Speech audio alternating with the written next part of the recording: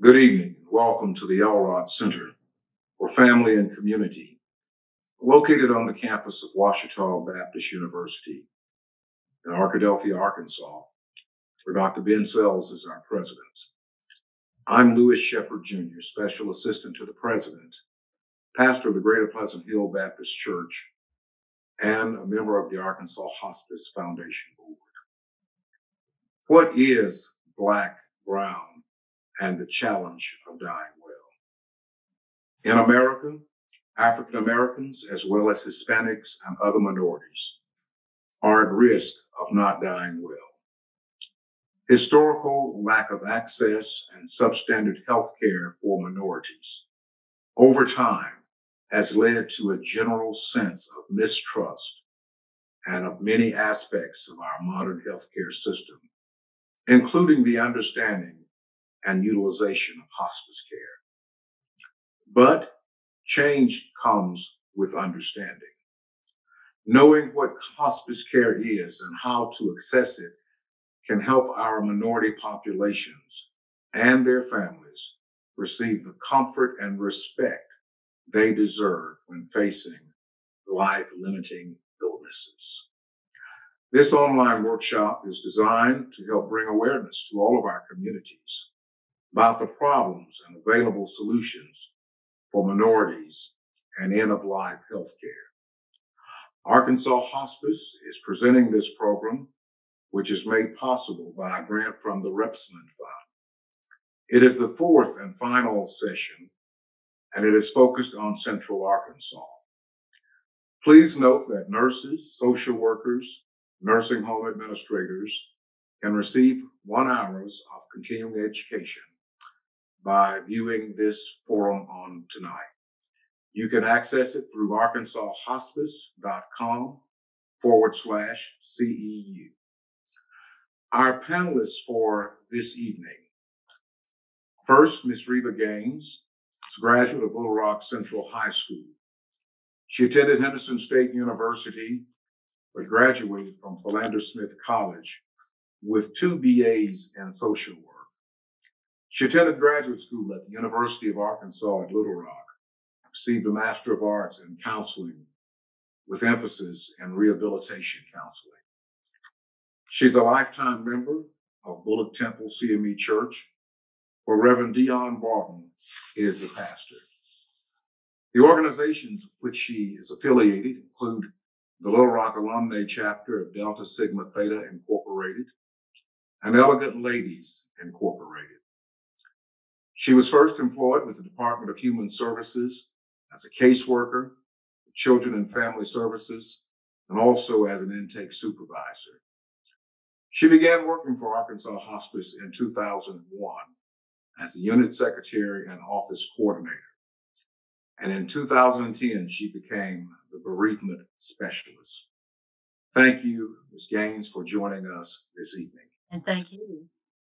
Our next panelist is Dr. Mitzi Washington, uh, who was born and grew up in Searcy, Arkansas, and she's lived there most of her life. She graduated from Searcy High School, received a BA from Hendrix College in Conway, and attended medical school at UAMS. There, she was the chief resident in pediatrics. Her initial job was with community health centers, especially in rural Arkansas but she's been in private practice for the last 25 years, first in Jacksonville and for the last 11 years in Searcy. And even when she practiced in Jacksonville, she said she lived in her hometown because she had pride there. And she wanted to see the community of her youth to use her as an example of what hard work can bring about. She has volunteered on a regular basis in multiple projects in the community and have done so for over 20 years. And let me introduce Dr. Mitzi Washington. Thank you, Dr. Washington, for joining us this evening. Glad to be here. Glad to be here tonight. Great. How can our listeners participate? right now, questions can be forwarded to our panel discussion by visiting arkansashospice.org. At the bottom of the page is a link for questions and discussion topics for minority utilization of hospice care can be submitted. Listeners can also submit their questions live during the program, but we encourage everyone to send in their questions now. The first question uh, that we will deliver to the panelists involves some of what both of you have written about in your biographies. And I didn't want to read that because I wanted it to come from your lips as opposed to mine. And everyone has a hospice story of some type.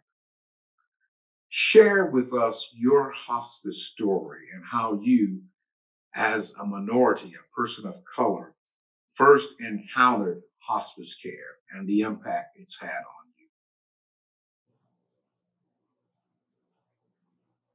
Dr. Washington. What? I'll speak. Uh, my very first job was working at uh, what was then called White River Rural Health, and now it's ARcare. And I was a physician in the Carlisle Medical Clinic. And um, there was a young lady who had a sister who had died, uh, who was in the process of dying and, di- and died, and she, Teresa Travis. And she started one of the very first hospices that I was aware of in the area. And she happened to have known me from medical school and needed someone to help and work. And so she called and said, You're a young doctor. You got some spare time. You don't have any kids. You don't have any responsibilities. Can you work for me? Well, you know, you're poor when you get out of medical school. So if she's going to pay me a little extra, I said, okay. I didn't really know what hospice was at the time. And so I got a good introduction to. And the hospice that she initially started, it had a theme and it said, adding life to days when there are no more days to add to life. And it took me a few years to figure it out.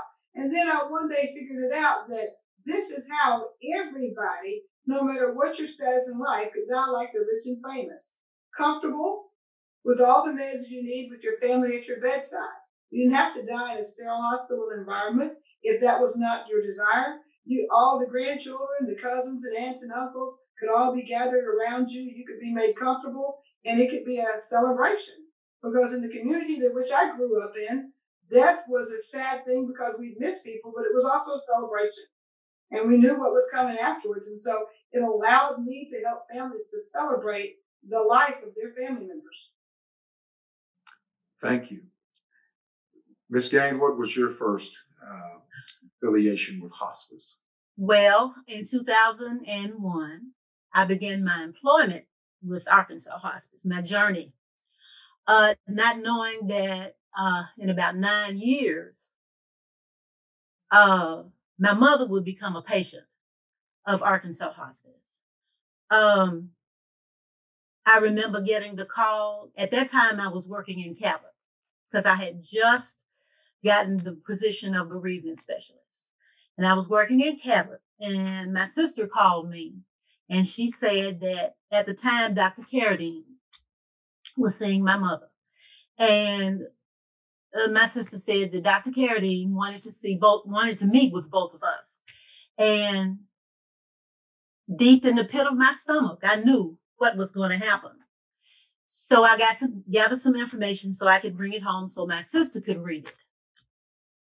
But uh, she was admitted. She had a wonderful team. Uh, the physician, social worker, nurse, and chaplain. Uh, about a month into her admittance, she was admitted to the hospital and she died. And so that was my personal experience with Arkansas Hospice. Thanks to both of you for sharing such personal stories with us this evening. Often in minority communities, hospice is misunderstood. When I taught death and dying at another university, uh, we would often discuss in class the concept of the horse on the dining room table. Everyone sees it, but no one acknowledges it. Uh, in your experience, how have minorities traditionally perceived hospice care? Well, first, oh, go ahead. um, for one, now when I started, I knew nothing about hospice and you know what went on. But minorities have always thought that when you are admitted into Arkansas hospice, that they just let you die. And that's not the case. And so that's that's one of the that's one of the things is that they just let you die. They take away all your medicines. And then you're just you're just there. I've even heard people say you're denied food while you're in hospice. Yes, absolutely. While absolutely. you starve to death. Uh, Right. And I have in, I have encountered friends that I have not seen in a long time and they say, Well, you know, where are you working? And so I say, Arkansas Hospice, and they go, mm, I just I I just don't think I could do that. And so their perception is, you know, it's just not good. Dr. Washington, do you want to address? Uh, The, yes, sir. The very first thing that happens is I do. I've dealt very little with inpatient hospice. Almost my entire career has been outpatient hospice, and I've been doing some form of outpatient hospice for over 25 years. The first thing that happens is that when you introduce the concept, everyone gets upset because you think that everyone has given up. And so the first thing I have to spend my time doing as a primary care provider introducing the concept is making them understand that there are times when there is no more treatment that we as physicians have to offer. And that my goal is to make the last time on earth as peaceful and comfortable and pleasurable as we possibly can. And it is not that we're giving up, it's that we've run out. But just because you've run out doesn't mean that you've given up. And I think the biggest problem that we have is that in the state of Arkansas, there are not enough physicians of color who understand the cultural aspect and the cultural approach that patients have and that they need to make. And so there remains a mistrust. When you have that mistrust and someone tries to present to you that we want to help your family member, we're not trying to kill your family member, we want to help your family member. Right. Unless they have that trusting relationship, they're not going to accept it. I've been called on multiple occasions for when it's even not time for hospice, but actually just time for them to stop aggressive care. And physician friends have asked me to come and speak with families to help them understand because they don't trust what's happening. And until they either see a familiar face or someone who looks like them, who talks like them, and understands their background, they're not willing to accept it. That's the first one. The next thing is, is that it's really difficult to make people understand that just because you get admitted to hospice, that you're not fit, you're getting ready to just drop dead. It doesn't mean that.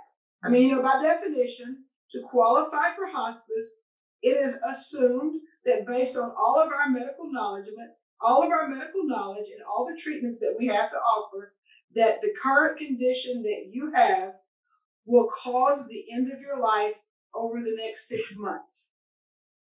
That's what the definition is when we get ready to admit someone to hospice. So even when we're admitting you to hospice, we expect you to live anywhere from four to six months, but we want you to live that four to six months. And so it's how it's presented, uh, it's how the trust is, and so many people are not offered that until the very end of life.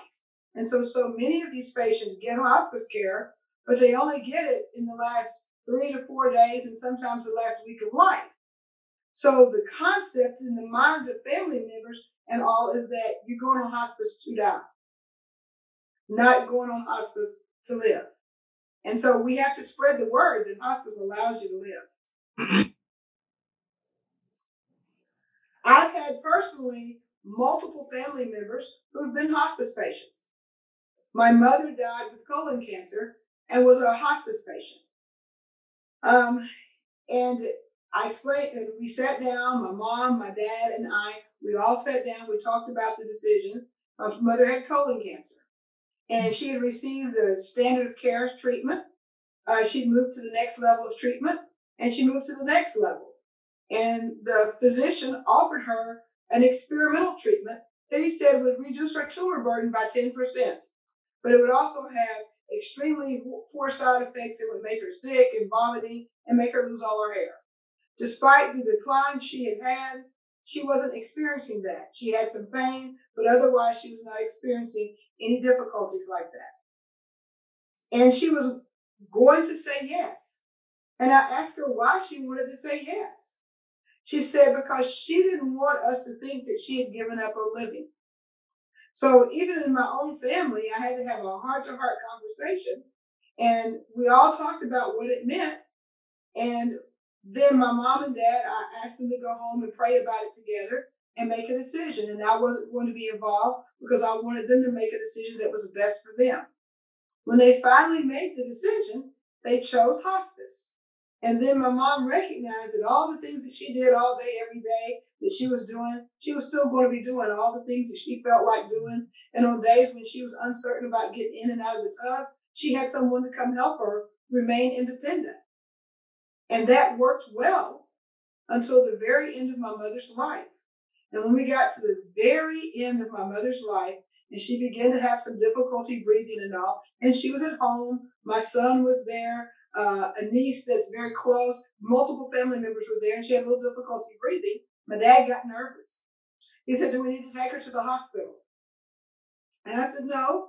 I said, This is why we have hospice so that when she gets uncomfortable, she doesn't have to remain uncomfortable. We can make her comfortable. The hospice nurse came, uh, gave meds to help relax her lungs so that she wasn't struggling to breathe. And she was able to talk with us and visit with us. And my dad finally looked at my mom and said, I understand and I know where you're going to be and I'm going to be okay. My mom smiled at my father, took a big deep breath, let it out, and that was her last breath. But that couldn't have happened if I wasn't so close to my family to make them understand that that could have been a one that had to be that could be a wonderful thing. And to the and my dad became a great hospice advocate because he began telling his friends and sharing with them about the wonderful experience that he had had. That they weren't cracking her chest, they weren't doing different things, and that she was peaceful, and that uh, the kids were all there, and everybody was there. And my dad became probably one of the greatest advocates of hospice after our own personal experience. And so the more we get people to have a positive experience, especially the outpatient experiences, the greater we can help other people understand it's a good thing. Thank you for sharing such a personal and touching story. What is the biggest cultural hindrance to utilizing hospice? I hear that it's a cultural thing, but what does that specifically mean? Uh, many times, I don't think that they have an understanding that there is not going to be a removal of their religious experience. Some people fear that they're taking God out of the, the end of life. And so all the hospices have a chaplain that work with the families and all. And even if the top hospice chaplain doesn't have adequate religious experience to help them, they do seek someone of like religious beliefs so they can begin to share. And so a difference in religious, religious cultural behaviors and religious, religious rituals sometimes make them have a cultural difference. Uh, for instance, I had an experience because I was I was actually a religion major in college, and I did comparative religious studies. And so I had a patient that was struggling because they were to a point where the nurse that was administering to them didn't understand that they were Catholic and didn't understand that they needed they needed not just wanted, but from their perspective, they needed last rites. And I made it my priority to help find one of my friends who was actually in school to become a priest. I actually called him and he came over and administered last rites. Well, that changed that family's whole perspective, but it's very difficult for the nurse who was never been around Catholic people to understand. And the chaplain, they had refused chaplain services initially because they were Catholic and the chaplain was of Protestant or uh, religion, And they didn't understand that the the chaplain wasn't going to be biased. They were going to be a spiritual advisor and would help them no matter. But so that cut them off for that for a while. And so those are little things that people think that you have to give up your religious preferences. You have to adopt a way and change who you are and what you are in order to get that treatment. Ms. Gaines, do you want to address that also? No, she said it all right there. Okay, thank you. Thank you.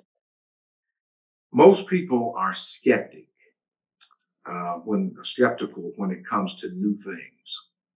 Uh, I know that we are hesitant to try new things that uh, come into our paths.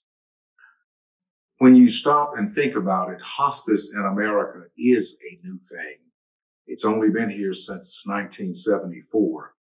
So for 46 years, hospice has struggled with images and trying to tear down barriers in cultural uh, communities. What is it that we can do to address issues of access for minority families? I think awareness um, is is quite important. Um, many minorities don't understand what hospice is. Uh, and I think that the more that we talk, um, just like what we're doing right now, I think it's an ideal uh, situation to um, help minorities understand. Other thing uh, would be in our churches. Absolutely, absolutely. I think in your churches that that's uh, that's uh, good good stepping point right there. Uh, you know, I always thought that maybe like doing morning worship at some point after service or whatever, uh, invite someone um, from hospice to come in and talk. And so I think awareness is the key. Or when you're like when you meet friends or something, uh, uh, you meet your friends that you haven't seen in a long time, and they, you know, they have that ooh. Then you explain to them exactly what hospice is about. So that's that's my point of view. What are some other inroads that we can make in uh, providing information? You mentioned churches. Uh, what about physicians' offices and dentist offices, barbershops and beauty salons? Uh, these are all uh, nail salons, places that people will frequent. How will that is is that a good avenue uh, trying to reach the masses to inform about hospice? It Um, is if we could get uh like pamphlets and put them in the beauty shops, barber shops, physicians' offices, or whatever. Um, say for instance, if you're at the beauty shop, you can ex- uh, you know you talk to the owner and you tell them exactly what you're aiming to do. Um, and enlist them to help you out. One of the things we talked about, and I think people forget, is that uh, you got to have a good relationship with the funeral home owner. Mhm. And the reason that I say this is because if we provide an adequate education and understanding of hospice to many funeral home owners, one of the things that happens in many uh, communities of people of color is they plan for the end of life. And one of the things that they do is they know what funeral home they're going to use. My family's used this funeral home for many, many years. And when grandma, grandpa, Paul, or Aunt Vida Sue starts getting sick, we go to the funeral home and we start making arrangements. And if the funeral director has knowledge about hospice and has an understanding in a positive way about hospice, they can actually ask them, uh, will you be utilizing hospice services at the end of life? And by them introducing it, they can and they can begin to defray some of the fears and things that people have regarding this because most people have a trusting relationship with the people that they use in their funeral home. I understand that you attend Bullock Temple CME Church. I we know what happens in the CME church.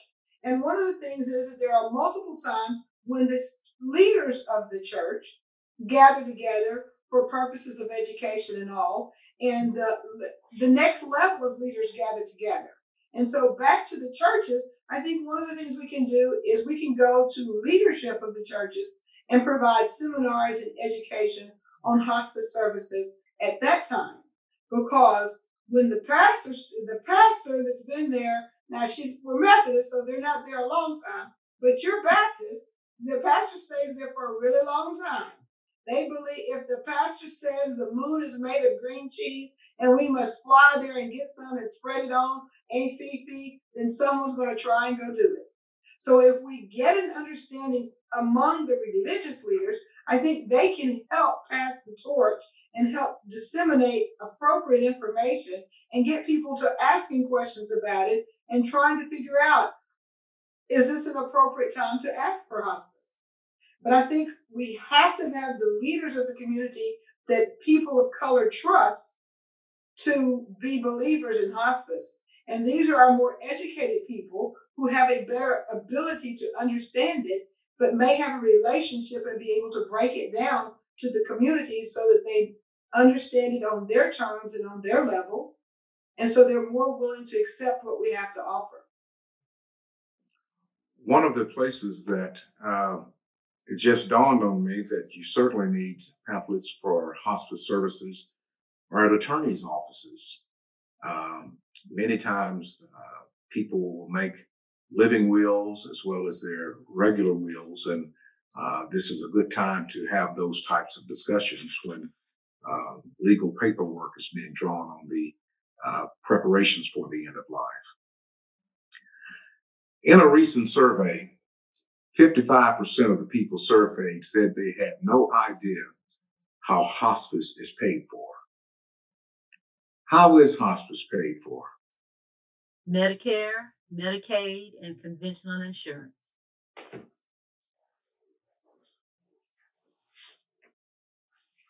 Plain and simple. and even though the Republicans don't like it, ever since Barack Obama was here, everybody has the opportunity to have health insurance. Yeah. So no no one has to be left behind. Nobody. Okay. And it is a mission of Arkansas Hospice that nobody is left behind. Has the pandemic made it more or less likely that minority families will consider hospice care? Or has it been? Oh, that's a funny one.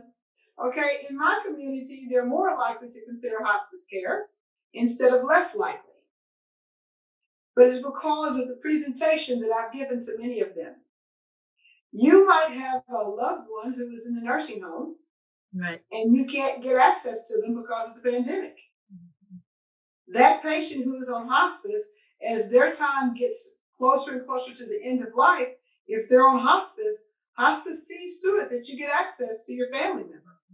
And so I've explained that to multiple people in my community who had been resistant to hospice care, who recognize that and say, okay. So you're telling me that if my mom's on hospice, even if she dies in the nursing home, I might have an opportunity to see her, even though the nursing home is closed to visitors? And I said, absolutely yes. And Arkansas Hospice has worked hard to make sure that any of the family members that can be allowed in during this time of their family's life, they can get in and spend that time with them.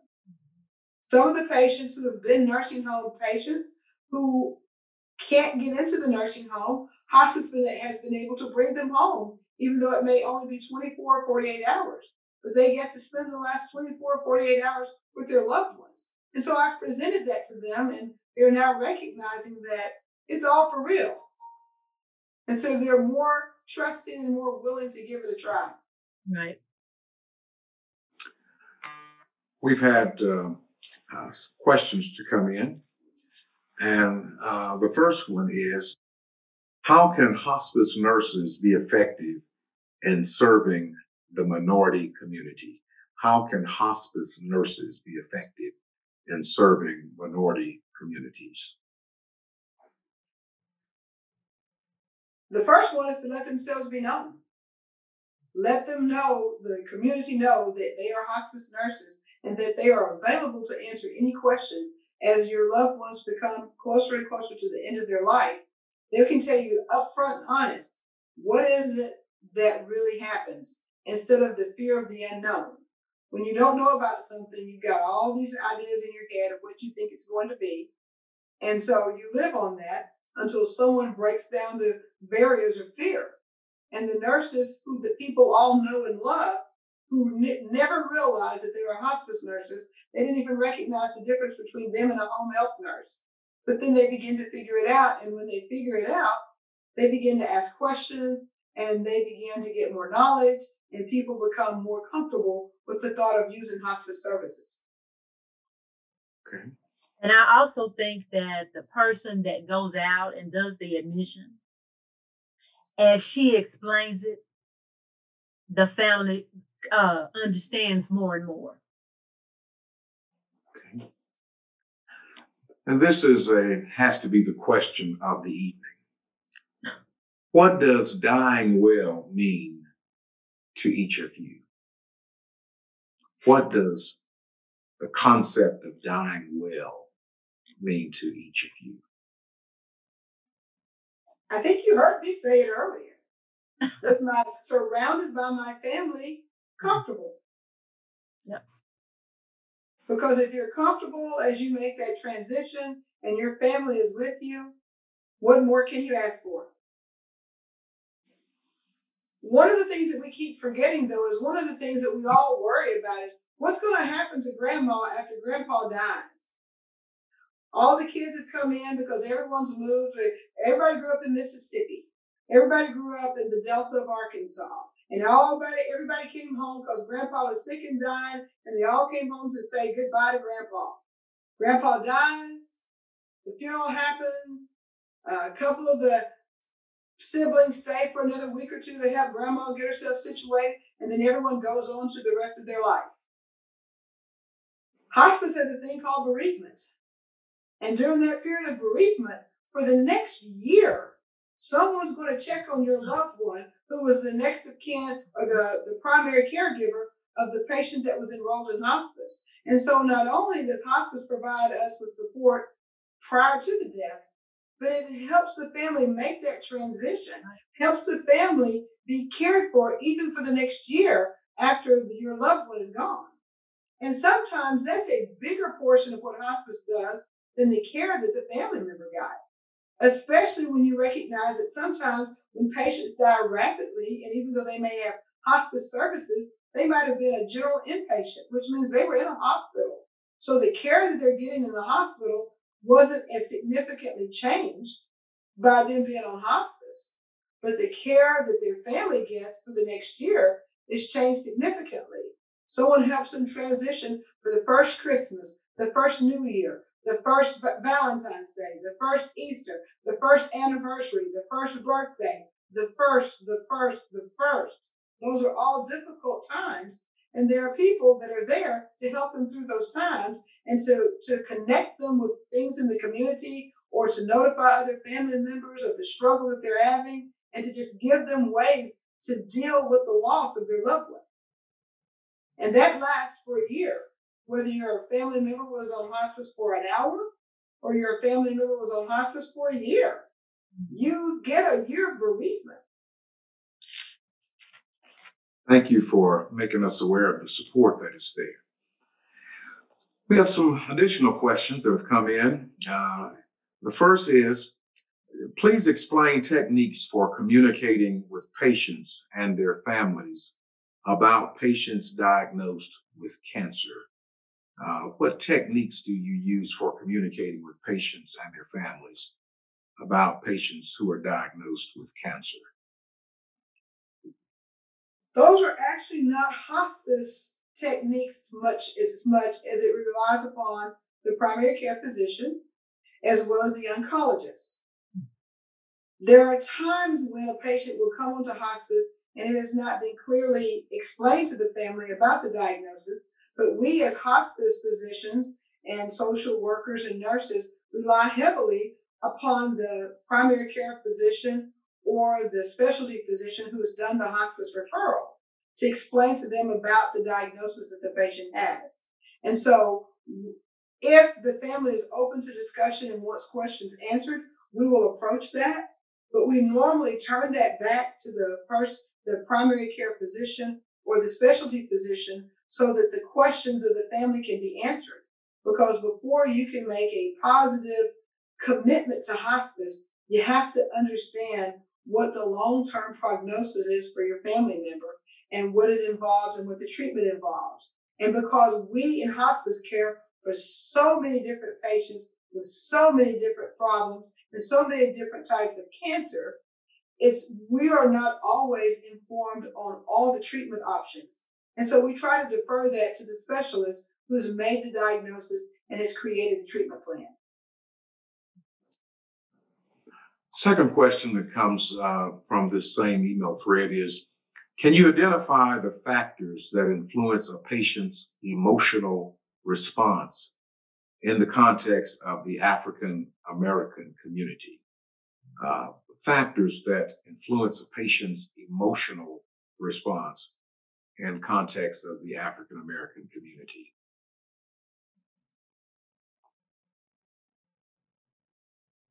Okay, I'm trying not to be the one doing all the talking because I think there's a counselor on the line with us. The last time I looked up, is our counselor still there? I'm going to throw that to her, but I'll be glad to speak if she doesn't want to. Go ahead. I'll add on. Okay. The the big I think the factors that contribute to the emotional response is first an understanding of where they stand with their disease process and what their relationship is with their family members as we're dealing with this. Because there's so many times that I've, I've dealt with people who understand their disease and they're tired and they're ready to take their rest. Mm-hmm. But their family members don't have a full understanding. And so they keep pushing and pushing and pushing and it's very difficult because they're trying not to upset the apple cart because they're trying to keep everyone happy. And so many times we in hospice are able to provide a lot of guidance for the family about the level of the condition. But I find that nine times out of 10, the hospice patient themselves has a much better understanding of actually what's going on and has a much better emotional acceptance of it as long as we have helped them get their matters in order. And as they feel like the, the task that they have on hand, as if, if you will, their bucket list, if you have helped them to complete that, they become more emotionally settled and emotionally stable with the situation. But they really have a difficult time if they think that their family members are not well cared for from their emotional state. And that also the challenges of dying well, that coupled with what you said, absolutely. How often do you encounter uh, instances that may be culture connected where remaining family members are hesitant about the patient dying in the home? How do you deal with those situations? The first thing you have to do is you have to you have to listen before you draw a conclusion. You have to listen to that family member and let them tell you why they don't want that patient to die in the home. It may be that it would bring back too much memory uh, are they just, you know, they just, they're just not strong enough to handle that.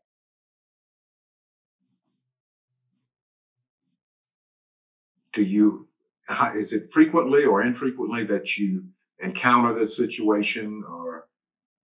It just depends. I mean,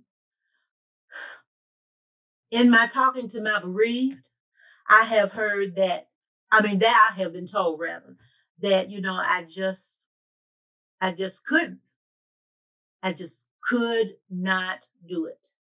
And then they go on to tell me why. And when they tell me, then it kind of takes that burden off of them when they tell me why they don't want their loved one, why they didn't rather want their loved one to die in the home. I mean, Another many question. times I've been told by people that they're afraid that they're going to do the wrong thing, that they're not going. Then they tell me they're afraid that their family member won't be taken care of. And then there are still um, a, there's still a large number of people who have a fear of dead people. It it sounds silly to us, but there are some who just fear that death process and they are fearful of it. Uh, I had one patient, one patient's family tell me that, well, where's mama going to sleep if daddy dies in that bed? How's she ever going to sleep in that bed again? What are we going to do for a bed for mama? They're worried about will mom be able to sleep in the bed. And the strange thing about it was is that mom wanted dad there. She didn't fear it at all.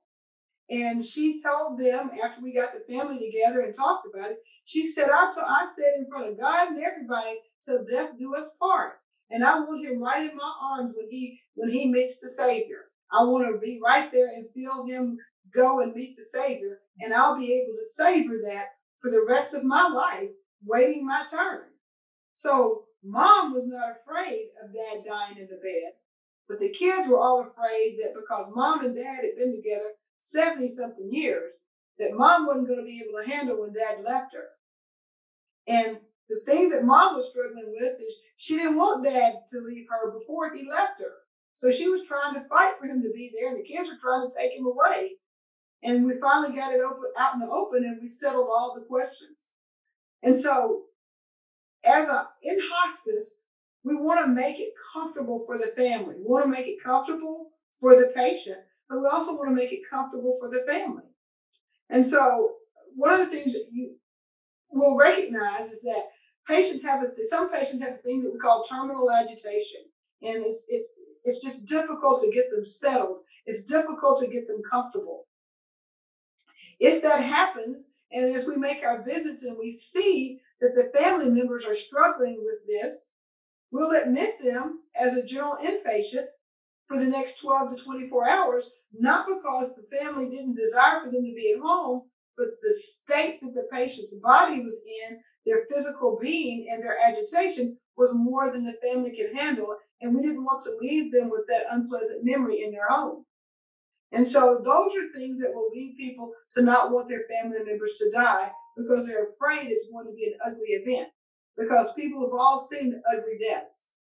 And if you we as a hospice don't do our job to the best of our abilities and we don't keep in touch with the family and answer their questions and keep their family members satisfied, it can lead to an ugly death. But our goal is to have a peaceful death and I always call it a Rockefeller death, You know, as I keep saying, you die like the rich and famous, in peace with your family surrounding you.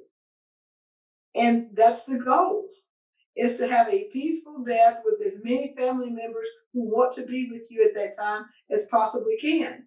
And there are many inpatient situations that don't allow for it. And so hospice allows for you to die well. What is the role of culture in patient centered care? How does culture play into uh, its role in patient centered care? First of all, the culture tells us what is the role of every family member. And when we're doing patient centered care, we need to understand what is the role that the dying member has, that the caregivers have, and in different cultures, it's very different. And you have to understand the role of the grandmother, the role of the abuela, the role of the big mama. You have to understand the role of that person who is dying and those who will be surviving. You have to say, where is, what is their role in the family? And it may be a very traditional family and the, they're losing their family matriarch And we, as all people of color, understand what it means to have a big mama or something and the role that big mama plays in not just our family, but in the entire church community and the entire community. And when we as caregivers, in regards to hospice caregivers, understand the role that that person plays in their family and in their community from how they interact culturally, it will help us to make the transition and to be accepted as part of that process. But if we don't fit into the cultural needs and awareness of the family, then we're not going to be accepted.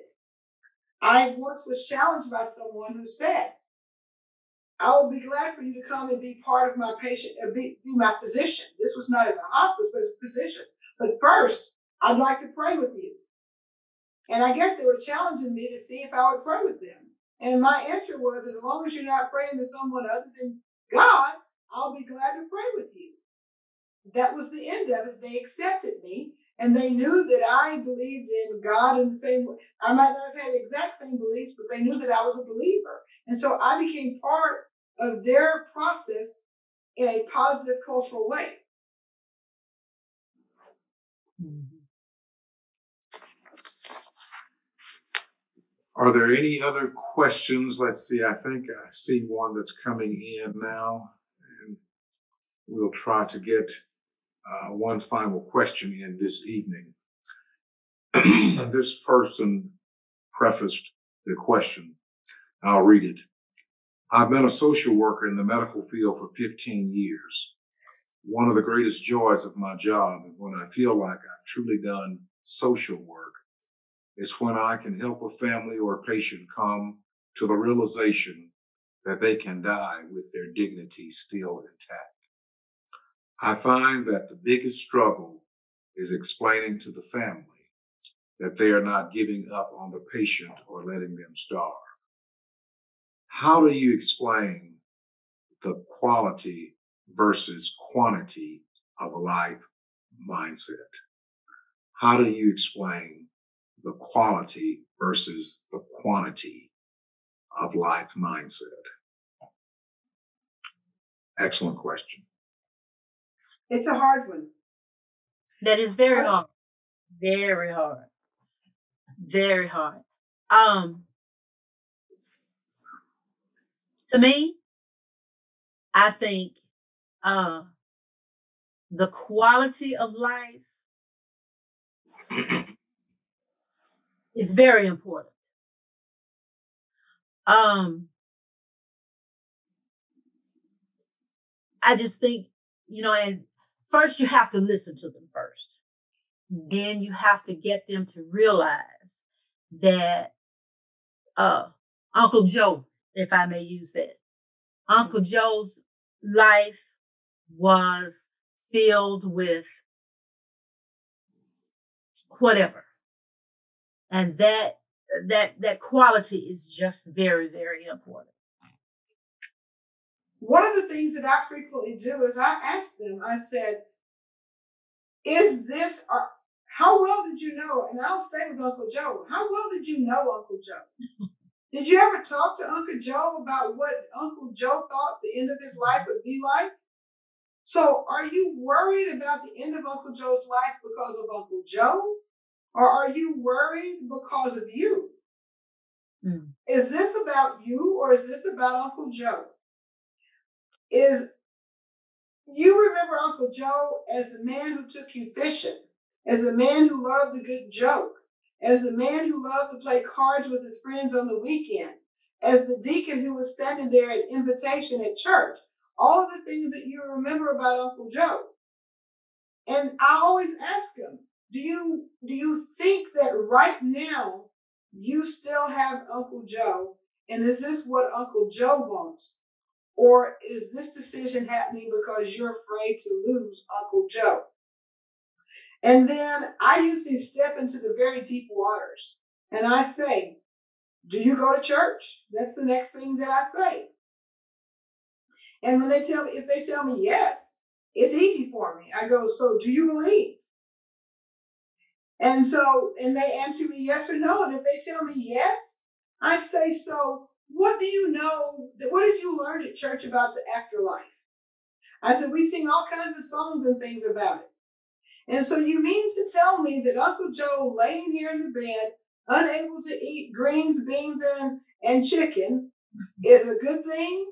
Whereas there's a land filled with milk and honey and streets of gold that you're denying Uncle Joe right now? So is this really about Uncle Joe or is this really about you? And is there anyone in your spiritual life that I can come and help talk with you right now so that we can give Uncle Joe the opportunity to retain his dignity and to be Uncle Joe? Because Uncle Joe wouldn't want to live being spoon fed and diapered. Uncle Joe wants to continue to live. And we can give Uncle Joe back his life by letting go and letting Uncle Joe have that life that he's prepared for. Mm-hmm. And so that's why, that's what I say. It becomes more difficult if they don't have a spiritual life. But I found that when I deal with communities of color, whether they be Hispanic, whether they be Asian, whether they be blacks, whether whatever we're looking, when we talk about the communities of color, their spiritual life and their cultural connection to their family plays a significant role. And when we make it about that person and remind them to make it about that person, they are usually more than willing to give, allow them to have that dignity and allow them to have that peace and allow them to die well with dignity. Thank you. Do we have any closing comments by either panelist this evening? I love to talk. so I'll say that I was taught as a child that the only bad question is the question that wasn't asked. Mm-hmm. And so for all of these people out here, whether you're online now, whether you'll talk with someone, I'm always open, and there are many of us who are always open to, to answer your questions. Don't live in fear and ignorance. Ask the question. Get your questions answered. Let your family die well with dignity. Let mm-hmm. them be comfortable. Let them enjoy life to the very end. Because I personally, this is a personal statement, but I'd rather live for 365 days than to exist for 700. And I would like to just die in a blaze of glory. I want to go out. Uh, ideally, I'd be 87 years old or 92 years old and just left my favorite restaurant and I was talking to somebody and I didn't hear the car and it came by, boom, and killed me instantly. And I know that I went out and I lived my life to the very end. And my job, my goal as I practice medicine, as I work with hospice, is I want every person that I encounter to live to the very end, not to exist. And just ask, and I'll be glad to help you get there. Thank you, Dr. Washington. Ms. Gaines, do you have a closing comment? Yeah, I, I what I was going to say is that uh, there are challenges of dying well. Um, I think that um, those uh, some of those challenges begin with making sure that all of your affairs are in order so that um, when you take your last breath and uh, so that you know when you do take your last breath then you won't have any qualms about oh you know i wish i had done this i wish i had done that so you know beginning with uh, uh getting your affairs in order awareness and all that uh, helps with dying well. Thank you. For those who are interested in uh, continuing education hour uh, forum, uh, please check in at arkansashospice.org, arkansashospice.org forward slash CEU. There you can obtain your continuing education hour. Please allow me to say thanks to the Arkansas Hospice Foundation and the Minority Outreach Coordinator, Reverend Kyle Jones, for their coordination of Black, Brown, and the challenge of dying well. I would like to thank our panelists again, Ms. Gaines and Dr. Washington, And those of you who are in the audience who joined us tonight and presented questions, uh, it caused us uh, to continue engage in this con- this context. We also want to issue a special thanks to the Rebsamen Fund for their financial support in making this event possible. Please call and visit the other pages of the arkansashospice.org and uh, you can call or email them with additional questions that you may have about symptom management and the end of life care.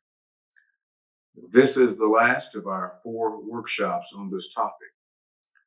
Uh, thank you so much to Arkansas Hospice for allowing me to moderate these sessions. It has been a highlight of my career, and I thank you for it. We wish you good night, Merry Christmas, and a Happy New Year. May God bless America. May God bless Arkansas.